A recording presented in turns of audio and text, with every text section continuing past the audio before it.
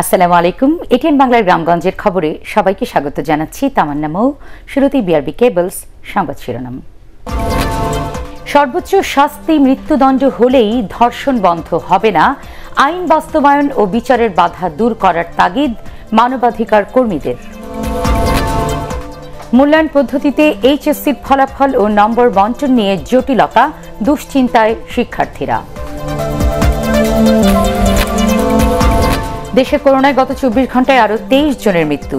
নতুন শনাক্ত এক হাজার দুশো তিন জন।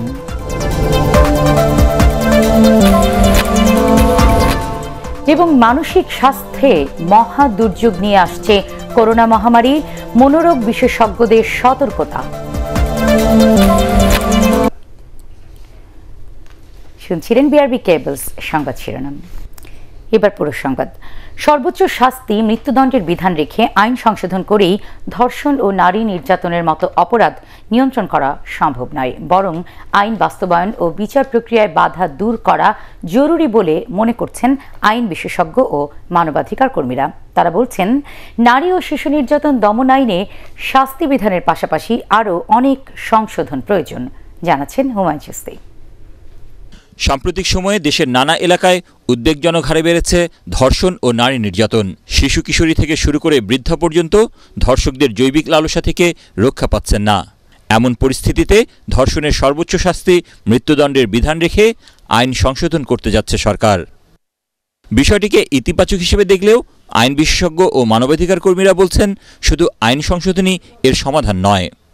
ন্যায় বিচার পাওয়ার ক্ষেত্রে সঠিক ধারায় মামলা দ্রুত তদন্ত ও চার্জশিট দেওয়ার ক্ষেত্রে আইন শৃঙ্খলা বাহিনীর পেশাদারিত্ব জরুরি। এছাড়া দক্ষ প্রসিকিউশন ও বিচারকও নিয়োগ দিতে হবে। শিশুদের ধর্ষণে মৃত্যুদণ্ড আছে কিন্তু সেটা কিন্তু প্রয়োগ হচ্ছে না এবং ধর্ষণও কিন্তু কমে নাই। শুধু একটা আইন করে দিলে হবে না আইনের প্রয়োগের জন্য কিন্তু যেই সাপোর্ট যেই অর্থবল যেই বিষয়গুলো লাগে এগুলো কিন্তু খুবই প্রয়োজন। আমাদের সব থেকে বড় চ্যালেঞ্জ এখন যেটা যেটা হলো যে বিচারহীনতা একটা ভিকটিম সেই ধরনের সুবিধাটা তারা থানায় পায় না কোর্টে পায় না। মামলা গ্রহণ করাতেই তাদের সমস্যা হয়। তারপরে যদি বা মামলা কোনোভাবে গ্রহণ হয় কিন্তু অনেক সময় লাগে তদন্তে। পাবলিক প্রসিকিউটর অফিস এখানে যথেষ্ট গাফিলতি দেখায় ধর্ষণ মামলাগুলোর ক্ষেত্রে। নিয়মিত ও কঠোর তদারকির মাধ্যমে এসব মামলা সঠিক সময়ে শেষ করা সম্ভব বলেও মনে করেন তারা। আইন সংশোধনের চাইতেও বড় কাঠামোগত পরিবর্তন। এই যে প্রশাসন এবং প্রসিকিউশন তারা যৌথভাবে একটা মামলাকে পজিটিভ করতে হলে কি কি করতে হবে? কোন কোন জায়গায়? এখানে দক্ষ একটা মনিটরিং ব্যবস্থাপনা লাগবেই। শক্ত মনিটরিং এর ব্যবস্থা থাকলে সেখানে কিন্তু আমরা দু মাসের ভিতরে একটা জাজমেন্ট ডিস্ট্রিক্ট কোর্টে কিন্তু আনা যায়। ধর্ষণ ও নারী নির্যাতনের মামলার বিচার নিম্ন আদালতে শেষ হলেও উচ্চ আদালতে বছরের পর বছর ঝুলে থাকে। অগ্রাধিকার ভিত্তিতে এসব মামলার নিষ্পত্তি করতে আলাদা বেঞ্চ গঠনের প্রয়োজন বলেও মনে করেন তারা। হুমায়ুন চিস্তি, এটিএন বাংলা, ঢাকা। মূল্যায়নের ভিত্তিতে এইচএসসি পরীক্ষার রেজাল্ট দেওয়ার সিদ্ধান্তে সৃষ্টি হয়েছে নানা ধরনের জটিলতা। পরীক্ষা ছাড়া বিষয়ভিত্তিক নম্বর বন্টন কীভাবে হবে, তা নিয়ে দুশ্চিন্তায় শিক্ষার্থীরা। মূল্যায়ন কমিটি বলছে, নম্বর বন্টনের ক্ষেত্রে কেউ যাতে ক্ষতিগ্রস্ত না হয়, তা বিবেচনা করেই ফলাফল তৈরি করা হচ্ছে। মাহবুব কবির চপলের রিপোর্ট। করোনা মহামারীর মধ্যে যখন সব কিছু প্রায় স্বাভাবিক তখন স্বাস্থ্য ঝুঁকির আশঙ্কায় বাতিল করা হয়েছে এইচএসসি পরীক্ষা। তাতে আপাতত স্বস্তি মিলেছে পরীক্ষার্থীদের। একে মন্দের ভালো বলছেন শিক্ষা গবেষকরা। আমরা যদি অন্য দেশের উদাহরণ দেখি কোথাও কিন্তু পাবলিক পরীক্ষা নেওয়া হচ্ছে না এই পর্যায়ে। আশা করব সরকার একটি ভালো দিক নির্দেশনা দেবেন যে এদের মূল্যায়ন কীভাবে হবে এবং তারা যাতে অটো পাস কথাটা না বলতে পারেন, মূল্যায়নের ভিত্তিতে হবে। তার মধ্যে কেউ ভালো হতে পারেন, কারও খারাপ হতে পারে। সেটা তো যে কোনো পরীক্ষাই হতে পারে। তবে এই সিদ্ধান্তে জটিলতাও সৃষ্টি হয়েছে অনেক। বলা হচ্ছে জেএসসি ও এইচএসসির বিষয়ভিত্তিক নম্বরের গড় করে এইচএসসির নম্বর নির্ধারণ করা হবে। কিন্তু যেসব সাবজেক্টের সাথে ওই দুটি ক্লাসের সাবজেক্টের মিল নেই সেগুলোর নম্বর কীভাবে দেওয়া হবে? উচ্চ মাধ্যমিক পরীক্ষায় সাতটি বিষয়ের তেরোটি পত্রে পরীক্ষা হয়। মূলত এই সাতটি বিষয়ে এক এক ধরনের বিষয়। এই বিষয়গুলির সাথে এসএসসি পরীক্ষার কতগুলি বিষয়ের মিল আছে? আবার কতগুলি বিষয়ের মিল নাও থাকতে পারে। তার জন্য কিন্তু আমরা বিষয় ভিত্তিক ম্যাপিং করবার চেষ্টা করছি এবং ম্যাপিং করার মধ্য দিয়ে এক একটি বিষয়ের যে ওয়েটেজ তৈরি হবে, সেই ওয়েটেজের সাথে ওই বিষয়ের উচ্চ মাধ্যমিকের ক্ষেত্রে কোন বিষয়ের সাথে আমরা একটি সম্পর্ক যুক্ত করতে পারি, তার জন্য বিশেষজ্ঞরা কাজ করে যাচ্ছে। এইচএসসির ফলাফল ও বিষয়ভিত্তিক নম্বর দেশ বিদেশে উচ্চশিক্ষার ক্ষেত্রে খুবই গুরুত্বপূর্ণ। মূল্যায়ন কমিটি বলছে, সেটি মাথায় রেখেই ফলাফল তৈরি করা হচ্ছে। এবছর হয়তো বা মূল্যায়নের পদ্ধতি ভিন্ন হতে পারে, কিন্তু তারপরেও যেহেতু শিক্ষা বোর্ড থেকে যে ফলটি দেয়া হবে, বিশ্ববিদ্যালয় অবশ্যই তার বিশ্ববিদ্যালয়ের কাছে সেই ফলটি গ্রহণযোগ্য। নভেম্বরের মধ্যেই এইচএসসির তেরো লাখ পঁয়ষট্টি হাজার শিক্ষার্থীর ফলাফল তৈরি করা হবে। ডিসেম্বরে ফল ঘোষণার কথা রয়েছে। মাহবুব কবির চপল, এটিএন বাংলা, ঢাকা। করোনা ভাইরাসে আক্রান্ত হয়ে দেশে গত চব্বিশ ঘন্টায় আরও তেইশ জনের মৃত্যু হয়েছে। এ নিয়ে মৃতের সংখ্যা বেড়ে দাঁড়াল পাঁচ হাজার পাঁচশো জনে। সবশেষ চব্বিশ ঘন্টায় দশ হাজার আটশো নমুনা পরীক্ষায় নতুন করে এক হাজার দুশো তিন জনের করোনা শনাক্ত হয়েছে। শনাক্তের হার এগারো দশমিক শূন্য আট ভাগ। এ নিয়ে মোট আক্রান্তের সংখ্যা তিন লাখ সাতাত্তর হাজার তিয়াত্তর জন। স্বাস্থ্য অধিদপ্তরের সংবাদ বিজ্ঞপ্তিতে সব তথ্য জানানো হয়। গত চব্বিশ ঘন্টায় সুস্থ হয়েছেন এক হাজার চারশো তিপ্পান্ন জন।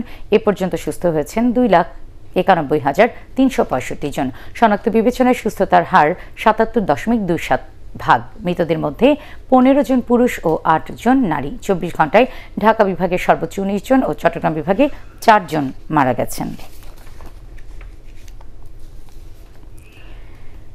মানসিক স্বাস্থ্যে সুনামির মতো দুর্যোগ নিয়ে আসছে করোনা মহামারী। এমন সতর্কতা মনোরোগ বিশেষজ্ঞদের। এ কারণে সবার জন্য মানসিক স্বাস্থ্য সেবা নিশ্চিত করতে এই খাতে বিনিয়োগ বাড়ানোর তাগিদ বিশ্ব স্বাস্থ্য সংস্থার। এমন আহ্বান জানিয়ে এবার পালিত হচ্ছে বিশ্ব মানসিক স্বাস্থ্য দিবস। বরকতুল্লাহ সুজনের রিপোর্ট।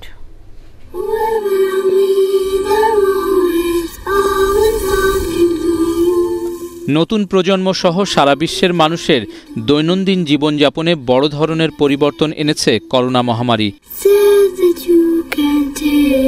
প্রিয়জনকে হারানোর পাশাপাশি হুমকির মুখে অনেকের জীবন জীবিকা বেড়েছে অজানা আতঙ্ক। বন্ধু ও শিক্ষক মহলের সরাসরি সংস্পর্শ থেকে বঞ্চিত গৃহবন্দী শিক্ষার্থী ও শিশুরা। বেড়েছে ভবিষ্যৎ নিয়ে উদ্বেগ উৎকণ্ঠা। এমন পরিবর্তিত পরিস্থিতির সাথে খাপ খাওয়াতে গিয়ে বাড়ছে মানসিক সমস্যা। বাসার মধ্যে অনেক লম্বা সময় কাটাতে হচ্ছে যেটা আগে কাটাতে হতো না। তাদের মধ্যে সম্পর্কে সমস্যার সৃষ্টি হচ্ছে। ইন্টারনেট অ্যাডিকশন বা স্মার্টফোন অ্যাডিকশন তৈরি হচ্ছে। Depressive disorder anxiety disorder obsessive compulsive disorder এই ডিসঅর্ডারগুলোও কিন্তু অনেক বেশি আমরা পাচ্ছি। তিনি কিন্তু কর্মক্ষমতা হারাচ্ছেন, তিনি পরিবারের জন্য কন্ট্রিবিউট করতে পারছেন না, সেটা আর্থিক এবং সামাজিক। রাষ্ট্রেরও কিন্তু লস হচ্ছে, কারণ রাষ্ট্র এই সক্ষম ব্যক্তিদের কাছ থেকে যেটা পাওয়া সেটা পাচ্ছেন না। এ অবস্থায় মানসিক স্বাস্থ্যসেবা ও সাইকোসোশ্যাল সাপোর্ট বাড়ানোর তাগিদ ডব্লিউএইচও সহ বিশেষজ্ঞ মহলের। বাংলাদেশে এই খাতে বর্তমানে সরকারি ব্যয় স্বাস্থ্য খাতের মোট বাজেটের মাত্র শূন্য দশমিক শূন্য পাঁচ শতাংশের কাছাকাছি। বিশেষজ্ঞরা বলছেন, বড় ধরনের বিপর্যয় এড়াতে মানসিক স্বাস্থ্য খাতে বিনিয়োগ বাড়ানোর এখনই সময়। এগুলো দীর্ঘমেয়াদী সমস্যা। এইটা ট্যাকেল করতে হলে আমাদের অনেক বেশি ম্যান পাওয়ার দরকার, অনেক বেশি ফিনান্সিয়াল সাপোর্ট দরকার গভর্নমেন্ট লেভেল থেকে এবং প্রাইভেট সেক্টরে তো অবশ্যই। মানসিক স্বাস্থ্য শুধু ডাব্লিউএইচও নয় সারা বিশ্বের সব দেশেই কিন্তু এটা এখন প্রায়োরিটি সময় এসেছে আমাদেরকে মানসিক স্বাস্থ্য সেবার বিষয়টা ঢেলে সাজানো। করোনা ভাইরাস পরিস্থিতির কারণে মানসিকভাবে বিপর্যস্ত মানুষের সংখ্যা ক্রমে বাড়ছে। দীর্ঘমেয়াদী এই সংকট নিরসনে তাই প্রয়োজন সমন্বিত উদ্যোগ। মানসম্মত মানসিক স্বাস্থ্য সেবা নিশ্চিত করতে বাংলাদেশের মনোবিজ্ঞান ভিত্তিক সোসাইটিগুলোর নিবন্ধন প্রয়োজন অচিরেই বিশ্বব্যাপী অনলাইন সাইকোথেরাপি বা মানসিক স্বাস্থ্য সেবার জনপ্রিয় হয়ে উঠছে। বাংলাদেশে এর গ্রহণযোগ্যতা বাড়াতে অচিরেই বিভিন্ন পদক্ষেপ নেওয়া প্রয়োজন। শরীর ও মন মিলেই মানুষ সুস্বাস্থ্য নিশ্চিত করার ক্ষেত্রে তাই গুরুত্বপূর্ণ গোটা চিকিৎসা ব্যবস্থায় ভারসাম্য আনা। বরকতুল্লাহ সুজন, এটিএন বাংলা, ঢাকা। নোয়াখালীর বেগমগঞ্জে গৃহবধূকে বিবস্ত্র করে নির্যাতন মামলার প্রধান আসামি বাদল সহ তিনজনকে নিয়ে ঘটনাস্থল পরিদর্শন করেছেন police bureau of investigation, PBI কর্মকর্তারা। একলাশপুরের জয়কৃষ্ণপুর গ্রামে নির্যাতনের শিকার ওই নারীর বাড়ি পরিদর্শন করেন মামলার তদন্ত কর্মকর্তা মামুনুর রশিদ পাটোয়ারি। পিবিআই এর ঊর্ধ্বতন কর্মকর্তারা এ সময় উপস্থিত ছিলেন। ব্রাহ্মণবাড়িয়ার আশুগঞ্জে বুদ্ধি প্রতিবন্ধী এক কিশোরী ধর্ষণের শিকার হয়েছে। এ ঘটনায় অভিযুক্ত দেলোয়ার মিয়াকে আটক করেছে পুলিশ। গতরাতে আড়াইসিধা ইউনিয়নের পাঁচ বিটা গ্রামে এ ঘটনা ঘটে। কিশোরীর বাবার অভিযোগ, তার মা খাবার দিয়ে তাকে পাশের বাড়িতে পাঠায়। সেখান থেকে ফেরার পথে কিশোরীর চাচাতো মামা দেলোয়ার হোসেন পাশের একটি ঝোপের মধ্যে তাকে নিয়ে ধর্ষণ করে। এই ঘটনা জানাজানি হওয়ার পর স্থানীয় সাবেক ইউপি সদস্য বাচ্চু মিয়া, গ্রামের মাতব্বর আবুল কালাম ও দিলোয়ারের বাবা মলাই মিয়া মীমাংসার জন্য চাপ দেয়। পরে মেয়েকে নিয়ে পালিয়ে আশুগঞ্জ থানায় গিয়ে অভিযোগ করে কিশোরীর পরিবার। পুলিশ জানিয়েছে এই ঘটনায় জড়িতদের গ্রেফতারে চেষ্টা চলছে। লালমনিরহাটে গণধর্ষণ মামলায় রকি নামের এক বখাটেকে গ্রেপ্তার করেছে পুলিশ। গত পাঁচ অক্টোবর এক কিশোরী রংপুর থেকে লালমনির হাটে আত্মীয় বাড়িতে বেড়াতে যায়। ছয় অক্টোবর সন্ধ্যায় ট্রেন যোগে কাউনিয়ায় ফেরার সময় সে কালীগঞ্জ স্টেশনে নাস্তা করতে নামলে ট্রেনটি তাকে ছেড়ে যায়। এ সময় রকি সহ চার বখাটে অটোরিকশা যোগে ওই কিশোরীকে কালীগঞ্জে পৌঁছে দেওয়ার কথা বলে একটি সেচ পাম্পের ঘরে নিয়ে পালাক্রমে ধর্ষণ করে। পরদিন সকালে ওই কিশোরী স্থানীয়দের সহায়তায় এক গ্রাম্য পুলিশের বাড়িতে আশ্রয় নেয়। এর একদিন পর এ ঘটনা জানাজানি হয়। গ্রেফতারকৃত রকি উপজেলার তালুকবাণী নগরের রজব আলীর ছেলে। দেশের বিভিন্ন স্থানে নারী নির্যাতন ও ধর্ষণের ঘটনায় প্রতিবাদ কর্মসূচি অব্যাহত রয়েছে। দিনাজপুর বড় ময়দানের কেন্দ্রীয় শহীদ মিনার প্রাঙ্গণে প্রতিবাদী অবস্থান ও বিক্ষোভ মিছিল করে সম্মিলিত সাংস্কৃতিক জোট জেলা শাখা। জোটের সাধারণ সম্পাদক সুলতান কামালউদ্দিন বাচ্চু, উদিচি জেলা সংসদের সভাপতি হাবিবুল ইসলাম বাবুল, দিনাজপুর নাট্য সমিতির সাধারণ সম্পাদক রেজাউর রহমান রেজু ও জেলা মহিলা পরিষদের সভাপতি কানিজ রহমানের সময় বক্তব্য রাখেন। ধর্ষণ নিপীড়ন মামলার সকল আসামি ও তাদের পৃষ্ঠপোষকদের সর্বোচ্চ শাস্তি শাস্তি নিশ্চিত করার দাবিতে মেহেরপুরে বিক্ষোভ সমাবেশ করেছে ছাত্রলীগ। দুপুরে গাংনী বাসস্ট্যান্ড এলাকায় এই কর্মসূচিতে মেহেরপুর জেলা আওয়ামী লীগের সাধারণ সম্পাদক এম এ খালেক, সাবেক পৌর মেয়র আহমেদ আলী ও পৌর ছাত্রলীগের সভাপতি ইমরান হাবিব সহ অন্যান্য নেতারা বক্তব্য রাখেন। খাগড়াছড়িতে শহীদ মিনারের সামনে মানববন্ধন করেছে সুশাসনের জন্য নাগরিক সুজন জেলা শাখা। এতে বিকশিত নারী নেটওয়ার্ক ও স্বেচ্ছাব্রতী উজিব বক ফোরাম সহ বিভিন্ন সামাজিক, সাংস্কৃতিক সংগঠনের প্রতিনিধিরা অংশ নেন। এ সময় বক্তারা নারী নির্যাতন দমনে সরকারের বিশেষ নজরদারি বাড়ানোর দাবি জানান।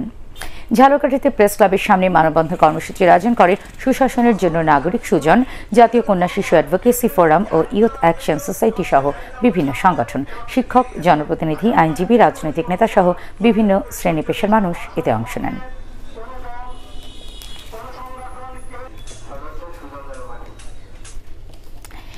বিএনপি ক্ষমতায় থাকাকালে দেশে নারী নির্যাতন, ধর্ষণ আরও বেশি হয়েছে দাবি করেছেন তথ্যমন্ত্রী ডক্টর হাসান মাহমুদ। চট্টগ্রাম সার্কিট হাউসে বার্ষিক কর্ম সম্পাদন চুক্তি বিষয়ক প্রশিক্ষণের উদ্বোধনী অনুষ্ঠানে তিনি বিএনপি মহাসচিব মির্জা ফখরুল ইসলাম আলমগীরের সরকার বিরোধী বক্তব্যের নিন্দা জানান। মন্ত্রী বলেন, অতীতে যারা এসব অপকর্ম করেছে, তাদের মুখে সমালোচনা মানায় না। আকাশ সংস্কৃতির আগ্রাসনে আমাদের নিজেদের সংস্কৃতি এখন হুমকির মুখে বলেও মন্তব্য করেন তিনি। সংস্কৃতি রক্ষায় গণমাধ্যমের ভূমিকা রাখার আহ্বান জানান হাসান মাহমুদ। যখন ক্ষমতায় ছিল, তারা তো দলগতভাবে এই সমস্ত অপকর্ম নৌকায় ভোট দেওয়ার অপরাধে আট বছরের শিশু থেকে শুরু করে অন্তঃসত্ত্বা মহিলা এবং ষাট বছর বয়স্কা মহিলা কেউ চায় যারা এই নারী নির্যাতন, ধর্ষণগুলো দলগতভাবে অতীতে করেছে এই নিয়ে যখন তারা কথা বলে, সেটি তখন হাস্যকর হয়ে দাঁড়ায়। দুই হাজার বাইশ সালের পহেলা জানুয়ারি থেকে দেশের সকল কাস্টমস হাউস ও কাস্টম স্টেশন সমূহের শুল্ক, করাদি ও ফিস সহ সব ধরনের চার্জ পরিশোধের পদ্ধতি ই পেমেন্ট বাধ্যতামূলক করা হবে বলে জানিয়েছেন জাতীয় রাজস্ব বোর্ডের চেয়ারম্যান আবু হেনা মোহাম্মদ রহমাতুল মুনিম। বাগেরহাটের মোংলা কাস্টমস হাউসে ব্যবসায়ীদের নিয়ে কাস্টমস ই পেমেন্ট বিষয়ক সচেতনতামূলক সভায় তিনি একথা জানান। সভায় Mongla C and F association O shipping agent association সহ বিভিন্ন ব্যাংক এবং কাস্টমস কর্মকর্তারা উপস্থিত ছিলেন। পরে মোংলা বন্দর কর্তৃপক্ষের সাথে মত বিনিময় সভা করেন এনবিআরের চেয়ারম্যান। নারায়ণগঞ্জে কিশোর গ্যাং অপহরণকারী চক্রের এগারো সদস্যকে গ্রেফতার করেছে র্যাব। এ সময় অপহৃত এক কিশোরীকে উদ্ধার করা হয়। শুক্রবার রাতে সদর উপজেলার ফতুল্লা থানার চাঁদমারি এলাকা থেকে তাদেরকে গ্রেফতার করা হয় বলে জানিয়েছেন র্যাব এগারো এর সিনিয়র সহকারী পরিচালক সুমিনুর রহমান। গ্রেফতারকৃতরা দীর্ঘদিন যাবৎ পরিকল্পিতভাবে রাস্তাঘাট ও পাড়া মহল্লায় সংঘাত করে এবং মানুষকে ভয়ভীতি দেখে ত্রাস সৃষ্টি করে আসছিল। সামাজিক নিরাপত্তা কর্মসূচির আওতায় দরিদ্র ও অসহায় মানুষের সুবিধা নিশ্চিত করতে হবিগঞ্জ সদর উপজেলার ছটি ইউনিয়নে দুই হাজার বয়স্ক, বিধবা ও প্রতিবন্ধীর মাঝে সরকারি ভাতার কার্ড বিতরণ করা হয়েছে। পইল ইউনিয়ন পরিষদ প্রাঙ্গণে এই কর্মসূচির উদ্বোধন করেন সংসদ সদস্য ও জেলা আওয়ামী লীগের সভাপতি অ্যাডভোকেট মোহাম্মদ আবু জাহিদ। সদর উপজেলা নির্বাহী কর্মকর্তা শাখাত হোসেন রুবেল সহ আওয়ামী লীগের নেতাকর্মীরা এ সময় উপস্থিত ছিলেন।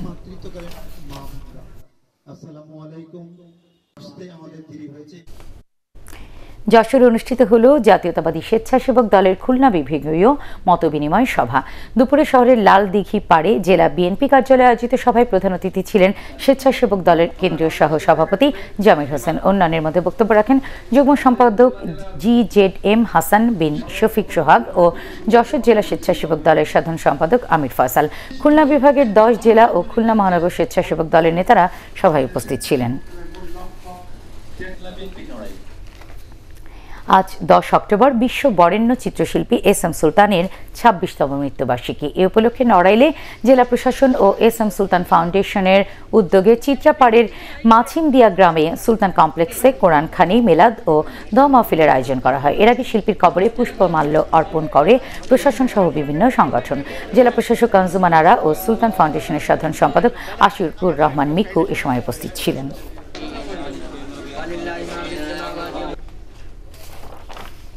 পটুয়াখালীর দশ মিনায় বহরমপুর ইউনিয়ন ফুটবল লিগের বহরমপুর একাদশ চ্যাম্পিয়ন হয়েছে। নেহালগঞ্জ হাইস্কুল মাঠে অনুষ্ঠিত ফাইনালে তারা টাই ব্রেকারে পাঁচ চার গোলে রন গোপালদি একাদশকে হারায়। এর আগে নব্বই মিনিটের খেলাটি এক এক গোলে ড্র হয়। খেলা শেষে বিজয়ীদের মাঝে পুরস্কার বিতরণ করেন দশ পিনার সদর UP chairman advocate Iqbal Mahmud Liton. পরবর্তী সংবাদ দেখার আমন্ত্রণ জানিয়ে এখনকার মতো শেষ করছি। করোনা ভাইরাস থেকে নিজেকে সুরক্ষিত রাখতে মাস্ক পরুন, বারবার হাত পরিষ্কার করুন। আর এটিএন বাংলা সংবাদ ইউটিউবে দেখতে ব্রাউজ করুন YouTube slash ATN Bangla news আল্লাহ হাফেজ।